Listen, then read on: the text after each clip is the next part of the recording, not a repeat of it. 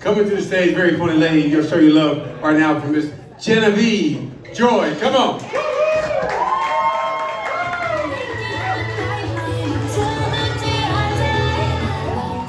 All right, you guys are so nice for having been here for 79 hours.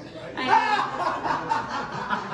wasn't that funny? You guys are really nice. That's great.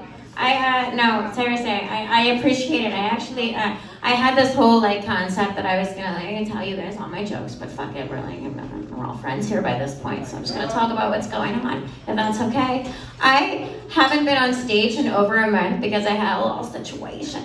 Um, I, yeah, it's like, okay, I'm, I'm really, I'm really talking to the girl. I understand this is unfair. I'm gonna make all the men grossed out and uncomfortable. I had some bleeding when I wasn't supposed to, so I called that number from the pandemic that's like, call a doctor, don't bother to go. And I was like, hey, so this is what happened. Like, is this like something that can be handled with some Midol, Pepto-Bismol, or like, should I see? They were like, what the fuck is the matter with you? Go to the doc, like right now. So I went and I found out that I have this condition called uterine fibroids. Does anybody know what this is?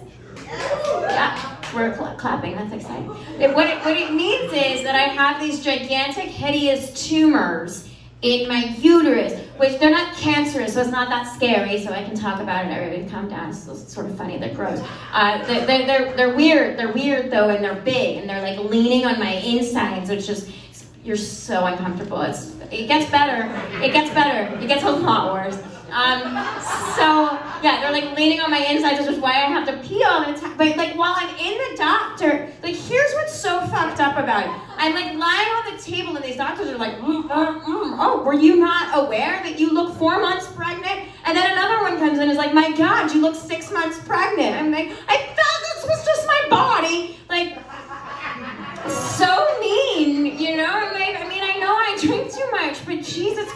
Like, do I really look that pregnant? They're like, Ugh. so anyway, I, I made, like, I was all scheduled to have these things taken out, and then, surprise, I actually got pregnant. Um, don't get excited, it didn't go on. So I, like, my first impulse was like, I need to like control alt delete like right now because of the fibroids. Also, I don't want a baby. But then I told my boyfriend, and he was all like, it's a miracle. And I was like, fuck. So it's awful. So everyone in my life is like so excited, except me. But you know, it, like the hormones make you crazy, and then you're like, maybe I. Well, anyway, one day, one day the fibroids grew, and I'm being crushed from the inside. So I go to the doctor. I'm like, shut it down, shut it down right now.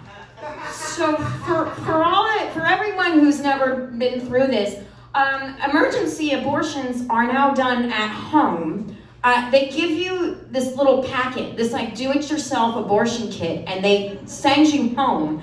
And they're like, it'll be like a period. It is nothing like a period. It was, it took as long as this comedy show for, for me to, to feel like I had knives all over my body while projectile vomiting while my mother sat there like, and so awful. So anyway, I'm still feeling terrible days later. I go back to the hospital. This is terrible, this isn't fine. I go back. I go back to the hospital where they tell me, oh, well, you're still sick because it's still there. And I said to this doctor, I beg your pardon? And he goes, it's still there. And I went, what? It's still there. And he goes, oh, oh, it's dead. It's just not, you know, God. A doctor said that. And I said, oh, well, that's reassuring. So, so they put me on the bed, and they're, they're, this is why I haven't been on stage. They, they put me on this bed, and they're wheeling me down the hall, and I'm thinking, is this what it feels like to be a dead body? And, but I didn't think it, I, I said it. I said it, and then the little, the Filipino male nurse is like, well, maybe, like for a little while. I'm like, yeah, no, I know. And then they stick you in the ground and forget about you. He's like, no, no one will forget you. I'm like, I'm not actually dead. Don't worry about it. And then I look up and the windows in the hospital are decorated like the sky. And I'm like, this is fact. Now I feel like I'm like in heaven. And he goes, well, you're really gonna like this. My name is Angel. I was like, that is the greatest thing I've heard all day. Anyway, I'm alive, so thank you for having me. I'm gonna go. Didn't any jokes, but I feel like this was better for me anyway. Thank you, everyone.